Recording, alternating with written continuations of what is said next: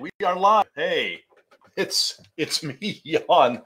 I uh, for uh, you folks who are listening in, I just showed off my Brazil 2010 soccer champ T-shirt because that's what we're uh, doing today in the back, right there, the Norwegian flag.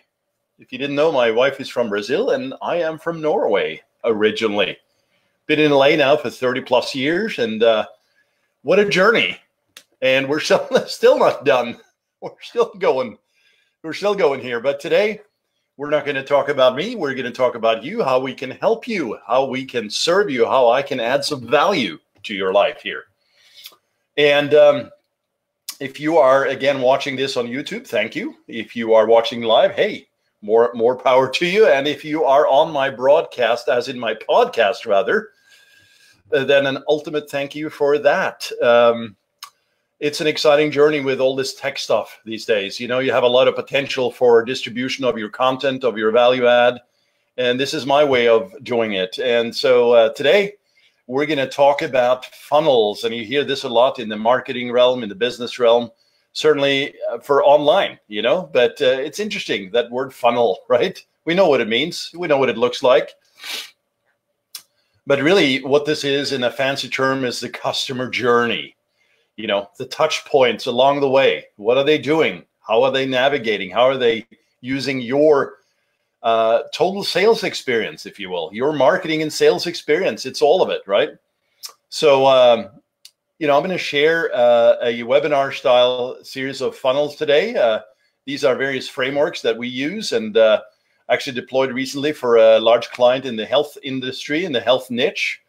Uh, but you can use this for so many types of businesses today, and certainly the ones where you are in the professional services capacity. So if you're a coach, consultant, author, speaker, etc., you have products, information, products that you want to sell, etc then uh, this is a great way to go uh, using uh, a webinar style funnel with uh, you can use official sort of webinar software like Stealth Seminar or uh, EverWebinar, and there's many out there. Uh, you know, often though, I find that a straight off VSL or just a video works just as good. Now, there's a lot of tech aspects to this, and I'm not going to get into that as we start thinking about retargeting and messaging and things like that. Uh, that's for another session. What we're going to cover here, though, is the basic frameworks that you can use and the different ways in which you use these and what may make sense for you and your business. So we're going to show you kind of a more complex funnel, and then we're going to break it down into the minimal viable funnel, uh, MVF, if you will. And uh, uh, that's that's actually an exciting opportunity as well because less work and uh, easier to test. So um, and um, if you're uh, seeing this, you're obviously seeing chaosmap.com. That is a complete brand pitch. If you want to go there and download more information, see our blog. And uh, welcome to set up a call there as well, where we can take you through these things and uh, and help you with it. But um, we'll get back to that. So let me turn that guy off, and we'll jump right into the framework here. And there we are. So what you're looking at here is uh, five different ways in which we talk about um, uh, funnels for webinars. And the first one is, before I get into that, by the way, pardon me, is um, you know if you if you're uh, by the way you can get this download here uh, in fact you know what i'm gonna i'm gonna get this hooked up into a link in the show notes and uh, we're gonna make this uh, available as a download for you in a pdf because that's how cool you are you get you get all this and um, and then you'll see what I'm talking about for uh, for those who are not visually uh, watching this right now. But essentially, right at the very top, I have some arrows across the the screen. Um, the arrows on the left are uh, in red colored, and on the right green. And so the left side, red-ish color, targeting message. You know, this is uh, that uh, message to market match conversation we've had before like who are you talking to, the psychology, demographics, technographics, all that. Uh, and then as you move through the funnel, it becomes a little little less red, a little warmer. You know, you're doing the no like and trust deal, right? And so you get into the presentation with a call to action as you move further across the page. Uh, now you're into the maturity stage. You're really warming up your audience. your prospects. You're adding a lot of value, value and goodwill. And over on the right, we have elevation slash close, I call it, where you have a human to human interaction. So initially, we start off with a digital presence through inbound traffic, through uh, through ads. Uh, here, I'm showing uh, Facebook uh, kind of uh, uh, ads as the resource or, or as the source, rather. And then we move through to landing pages, the webinar itself, which is a VSL. VSL is really, really just a short term nomenclature for a video sales letter. We got the booking page, which is a calendar that uh, folks can select from. In fact, if you go to chaosmap.com forward slash book dash me, you'll see an example of that calendar. And then we have a confirmation page, and that uh, gets sent over. And uh, again, some internal tech stuff here, but uh, that essentially gets a notification over to your sales team or salesperson with an S or not. And uh, that's where you also will have your own sales scripting and workflow in terms of uh, you know, sales close and opportunity to help. You know, not every uh, deal is going to be closed here, so um, you know you still have value to be given in terms of uh, of serving perhaps even a referral if it's not a match at that time. But that is also another conversation for another time. So let's. Uh, I have five on here, and I'm going to go through some of these a little bit quicker than others because they're a little bit of a repeat, just a slight change here, as you'll see. but the first one is um, really what I call the webinar plus booking form only. And a booking form is essentially a calendar, as I mentioned. And so uh, what you want to do is obviously get some traffic to your page. And what I'm talking about is a specific page uh, to the big idea or the big problem that you are trying to solve. So not everything under the sun, right? A specific problem. You know, you're presenting the big idea and what you can solve and what you are good at solving. So the traffic comes in, goes to a landing page. Those should be A/B tested in terms of versions against each other. And typically, I like to start start with an aggressive A/B test. So not you know, not grayish versions of each other, but black and white. So one version would be black and another would be white, for uh, for lack of better uh, description on that.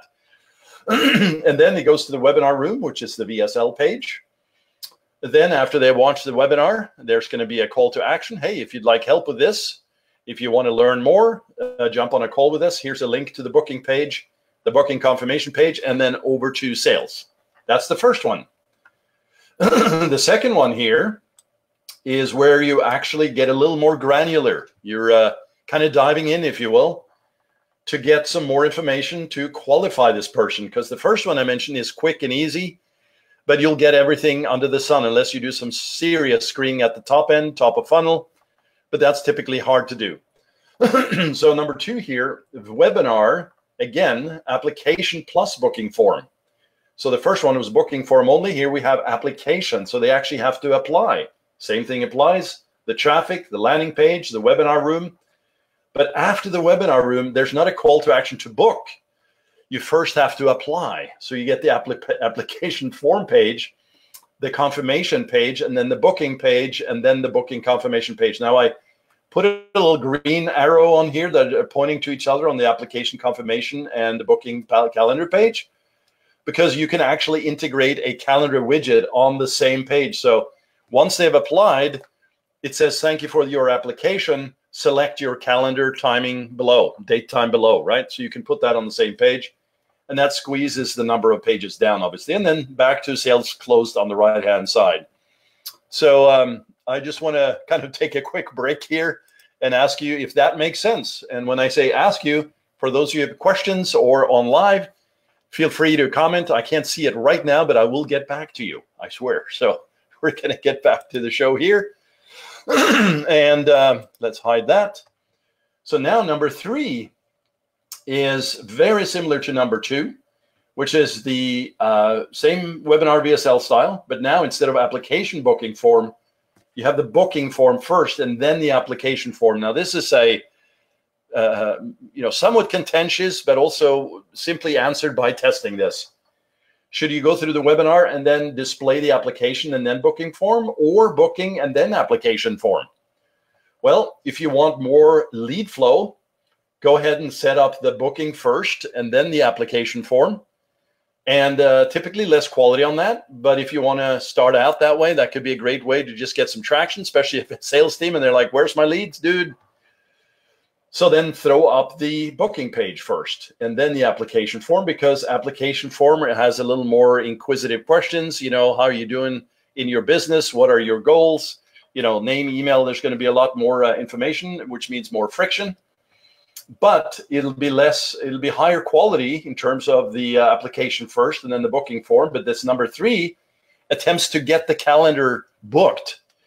And then if they don't fill out the uh, application form yes they still will be on the, on the calendar. Yes they still may make the call. Typically they will often bail so again less quality right? But you can close from that and you will spend a little less time through the funnel. So it's a toss up of do you want quality versus quantity? But I like to test both of these scenarios. I typically start out with the booking first just to get a, a sense of the flow. Um, but again, the maturity of the business will vary here.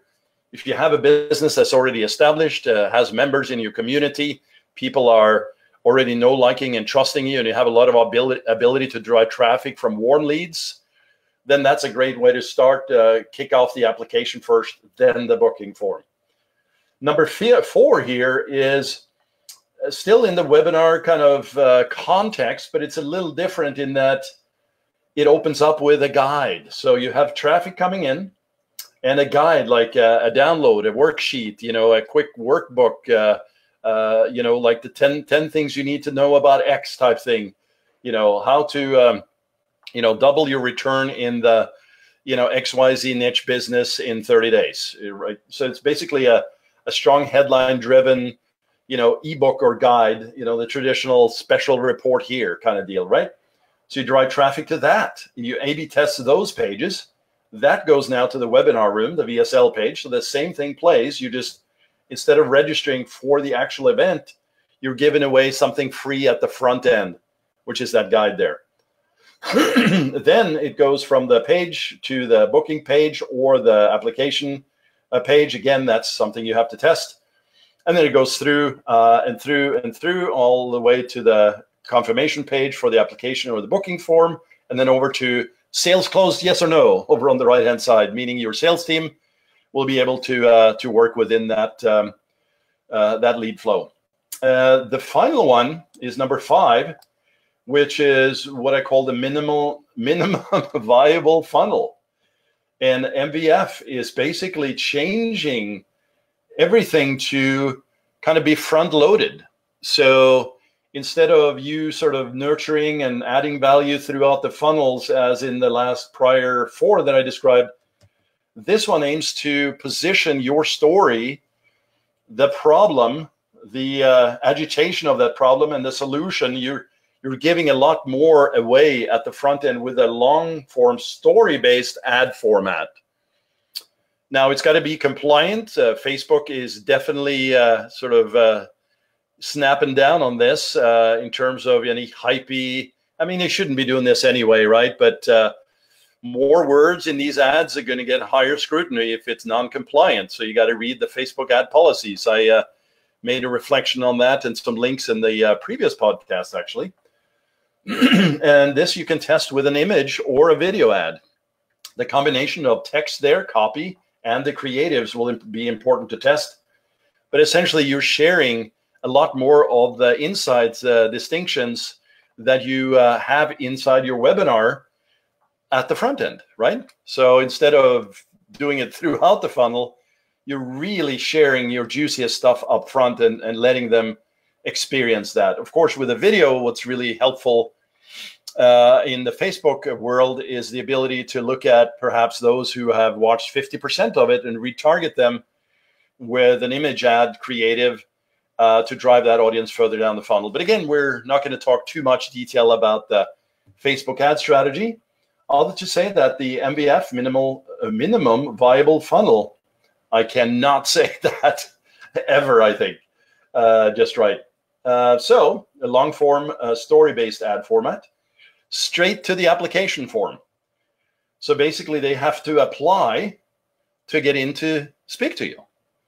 and then you have the application confirmation page. Now, the application form page would be a combination of the actual calendar and the uh, the application itself. Now, you could also alternatively rip out the booking uh, entirely if you don't have a lot of traffic through here. So when you get the application form page, your team or yourself, you just reach out directly and uh, and set a time. Now, we like the booking page because it creates order and it also creates a workflow that's easier to track and also the entire team can understand and recognize you know the various touch points along the way in a little more easier fashion and then on the confirmation page is thank you we will send you further information now i should also add here that there's the capability of course now in our day and age to uh, you know enter your your name and email name email and phone well the phone is essentially your you ask for the mobile phone and your note will say, thank you, we will text you with further instructions. In fact, that's what this minimal minimum viable funnel is for, is that you have the long form story-based ad at the front end. It goes to the app form and you get a thank you and the text will send you further instructions. And so that text goes straight to your mobile and that may be a link straight to your uh, booking uh, page or further instructions in terms of whatever you've set up for your business. So it's a very powerful um, uh, model, this MVF, and you should absolutely test it. So uh, I'm back on screen here briefly. I just want to uh, share with you that uh, if you need help with any of these things, you go to chaosmap.com, learn more about what we do. Um, but also you can go to chaosmap.com forward slash book dash me, book me with a dash in there. And we'll be uh, happy to jump on with you for 15, 20 minutes and uh, help you out. And, and of course, in full transparency, if there's a opportunity to work together, we can talk about that. But really, out the gate, we just want to help you, get you set out straight because we love what we do. And uh, I've been doing this for a long time. And so I want to make sure that uh, I add the best value I can to my community and help out as much as possible. You know, ultimately, it just feels good to know that that's happening. But of course, I also know that there is business out there from this. So, um, so that's that little mini uh, pitch for you. And uh, as we go back and look at this document, uh, I'm going to make this uh, available. We're going to PDF this for you. And it's basically, in summary, five different ways that you can capture your lead flow, capture your traffic into a lead flow that works through steps in this, you know, webinar VSL style um, framework. Uh, and I really uh, hope you leverage this and use this for your own business. You may already have something like this established, but you haven't add, added tracking points. You don't know where you're spending your money throughout this funnel. Uh, as you hear me talk about a lot, math and psychology is essential in this game. So if you understand your math and your conversion points along the way here, all the way back to your sales uh, team, and you have scripts and processes and systems that uh, track and behave in a manner that you can scale it, uh, well, then that's absolutely what you should do. And then the psychology of this is that you create messaging that matches the, the audience you're trying to get, but also that you are trying to position not only the big, idea, uh, but that you are offering solutions along the way and that you help them solve that. And the classic dating example works every time you don't go for the kiss uh, the first night, right, or the first uh, time you meet somebody. Uh, you really are warming up and getting to know, like, and trust this person. And it's the same here in, in marketing. Marketing is, of course, all about that and positioning and, and setting that pre-frame and, and adding value. But uh, ultimately, when you move into the sales section of, uh, of your workflow, that's when you have really an opportunity to you know, sort of talk about, hey, it's almost selling yourself. I mean, it sells itself at that point. So, um, so anyway, this is a another broadcast from the Digital Marketing Center here in Los Angeles with uh, the awesome, uh, you know, uh, Brazilian T-shirt and uh, Norwegian flag in the background. How about that? Yeah, jeg snakker norsk, in case uh, you didn't know. I, I'm fluent in Norwegian and uh, teach my kids that stuff as well. And uh, yeah, they speak Portuguese and Norwegian. So we're having fun over here. And uh, again, I appreciate you joining today. If you have any questions, certainly send those off.